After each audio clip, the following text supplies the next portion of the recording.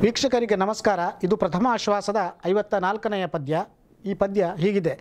ಲಲಿತ ವಿಚಿತ್ರ ಪತ್ರ ಫಲ ಪುಷ್ಪಯುತಾಟವಿ ಸ್ವರ್ಕಿದಾನಯಂ ಬೆಳೆವುದು.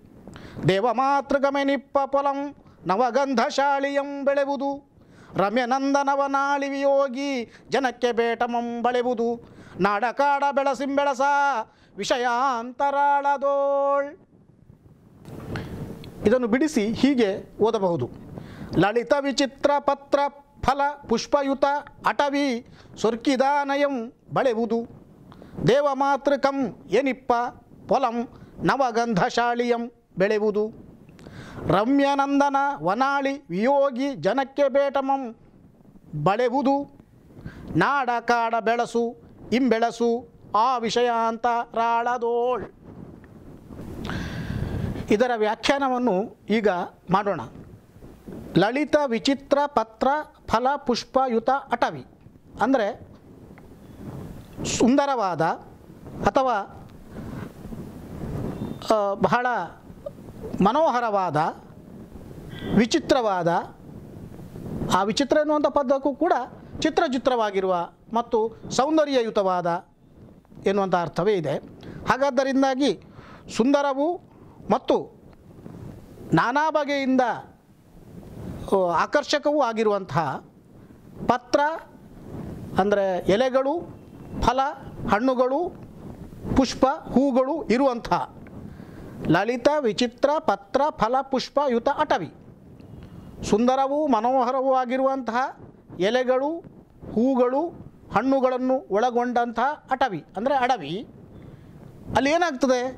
ಸೊರ್ಕಿದಾನಯಂ ಬೆಳೆಯುವುದು ಅದು ಅಂಥ ಸುಂದರವಾದಂಥ ಅಡವಿಯಲ್ಲಿ, ಅಂದರೆ ಕುರುಜಾಂಗಣ ಅಂತ ನಾವು ಹಿಂದೆ ಏನು ಹೇಳುತ್ತಿದ್ದೇವಲ್ಲ, ಆ ರಾಜ್ಯದಲ್ಲಿ ಇರುವಂತಹ ಅತ್ಯಂತ ಸುಂದರವೂ ಮನೋಹರವಾದಂತಹ ಪತ್ರ, ಪುಷ್ಪ ಫಲಗಳನ್ನು ಉಳ್ಳಂಥ ಆ ಅಡವಿ ಸೊರ್ಕಿದಾನಯಂ ಬಳೆಯುವುದು.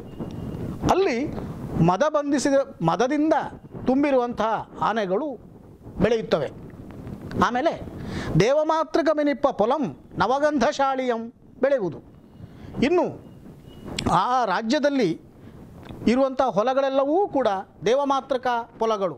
ಅಂದರೆ ಈ ದೇವಮಾತೃಕ ಪೊಲ ಎನ್ನುವುದು ಬಹಳ ವಿಶಿಷ್ಟವಾದಂತಹ ಒಂದು ಪದ ಮತ್ತೊಂದು ಪರಿಕಲ್ಪನೆಯಾಗಿ ಕಾವ್ಯದ ಉದ್ದಕ್ಕೂ ಬರ್ತದೆ ಕನ್ನಡ ಕಾವ್ಯಗಳಲ್ಲಿ. ಅದರಲ್ಲೂ ಕೂಡ ವ್ಯಂಗಿ ನಾಡನ್ನು ವರ್ಣಿಸುವಾಗ ಪ್ರಾಚೀನ ಎಲ್ಲ ಕವಿಗಳು ಕೂಡ ಈ ದೇವಮಾತೃಕ ಹೊಲಗಳು ಎನ್ನುವುದನ್ನು ಹೇಳಿದ್ದಾರೆ ಅಂದರೆ ಮಳೆಯಿಂದಲೇ ಬೆಳೆಯನ್ನು ಬೆಳೆಸುವಂತಹ ಹೊಲಗಳು ಎಂದು ಇದಕ್ಕೆ ಅರ್ಥ.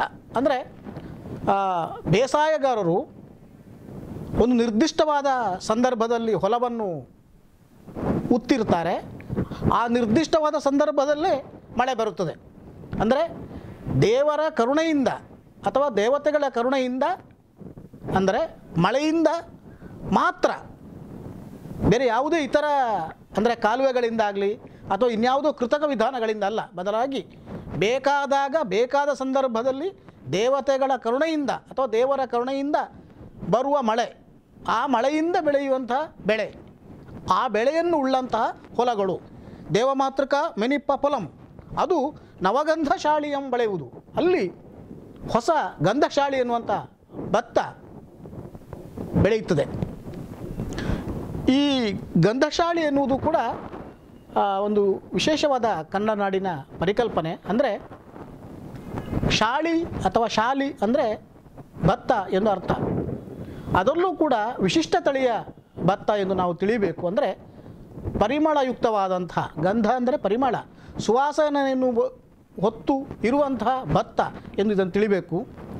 ಈಗಲೂ ಕೂಡ ಅದು ಕರ್ನಾಟಕದ ಅಥವಾ ಭಾರತದ ಕೆಲವು ಭಾಗಗಳಲ್ಲಿ ವಿಶೇಷವಾಗಿ ಅದನ್ನು ಬೆಳೆಯುತ್ತಾರೆ. ಹಿಂದೆ ಕರ್ನಾಟಕದಾದ್ಯಂತ ಈ ಭತ್ತದ ತಳಿ ಇತ್ತು. ಆದರೆ ಈಗ ಅದು ಅಪರೂಪ ಆಗ್ತಾ ಇದೆ. ಸಾಮಾನ್ಯವಾಗಿ ಹಿಂದಿನ ಅಥವಾ ಹಿಂದೆ ದೇವಾಲಯಗಳಲ್ಲಿ ನೈವೇದ್ಯಕ್ಕೆ ಇದನ್ನು ಬಳಸ್ತಿದ್ರು. ಮತ್ತು ಆ ನೈವೇದ್ಯದ ಸಲುವಾಗಿಯೇ ಊರಿನ ದೇವಾಲಯಗಳ ಮುಂದೆ ಇರುವ ಗದ್ದೆಗಳಲ್ಲಿ ಈ ಬೆಳೆಯನ್ನು ಬೆಳೆಸ್ತಿದ್ರು. ಅಂಥ ಭತ್ತವನ್ನು ನಾವು ಗಂಧಶಾಳಿ ಅಂತ ಹೇಳ್ತೇವೆ ಅಂದರೆ ಪರಿಮಳಯುಕ್ತವಾದಂತಹ ಭತ್ತ. ಅದು ಈ ದೇವಮಾತೃಕ ಮೆನಿಪ, ಅಂದರೆ ಮಳೆಯಿಂದಲೇ ಬೆಳೆಯನ್ನು ಬೆಳೆಯುವಂಥ ಹೊಲಗಳಿವು ಅಲ್ಲಿ ಅದು ನವಗಂಧಶಾಳಿಯಂ ಬೆಳೆಯುವುದು. ಮತ್ತು ರಮ್ಯನಂದನ ವನಾಳಿ ರಮ್ಯವಾದಂಥ ನಂದನ ಸಮೂಹಗಳು, ಅಂದರೆ ತೋಟಗಳು.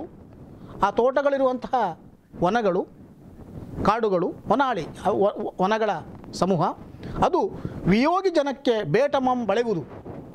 ವಿಯೋಗಿಗಳು ಅಂದರೆ ವಿರಹಗಳು, ಅಂದರೆ ತನ್ನ ಪ್ರೀತಿಪಾತ್ರರನ್ನು ಕಳ್ಕೊಂಡವರದು ಹೆಣ್ಣು ಇರುವುದು, ಗಂಡು ಇರುವುದು. ಅವರಿಗೆ ಬೇಟಮಂ, ಬೇಟ ಅಂದರೆ ಪ್ರೀತಿಯಂ ಬಳೆಯುವುದು.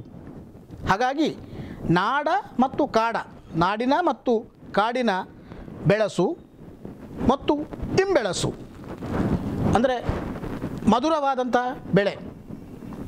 ಅಂದರೆ ಒಂದು ಕಡೆಗೆ ಪತ್ರ, ಪುಷ್ಪ, ಫಲ ಇವುಗಳ ಇಂದಾಗಿ ಆನೆಯ ಬೆಳವಣಿಗೆ.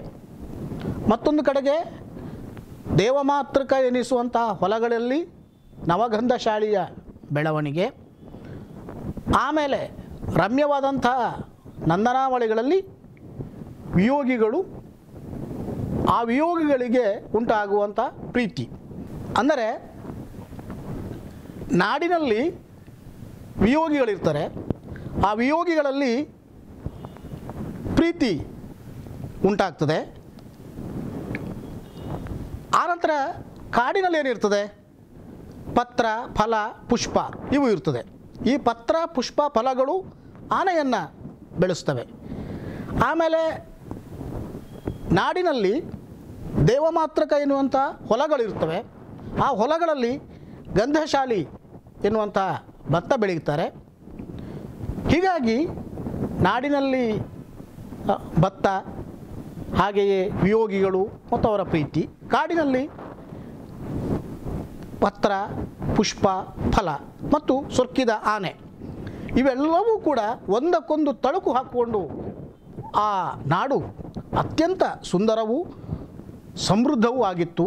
ಹಾಗಾಗಿ ನಾಡಿನ ಮತ್ತು ಕಾಡಿನ ಬೆಳಸು ಮತ್ತು ಇಂಬೆಳ, ಇಂಬೆಳಸು ಅಂದರೆ ಮಧುರವಾದಂಥ ಬೆಳಸು. ಒಂದು ಕಡೆಗೆ ಬೆಳೆ ಅಂದರೆ ಅತ್ಯಂತ ಯೋಗ್ಯವಾದಂತಹ ಬೆಳೆ, ಸಹಜವಾದಂಥ ನೈಸರ್ಗಿಕವಾದ ಬೆಳೆ.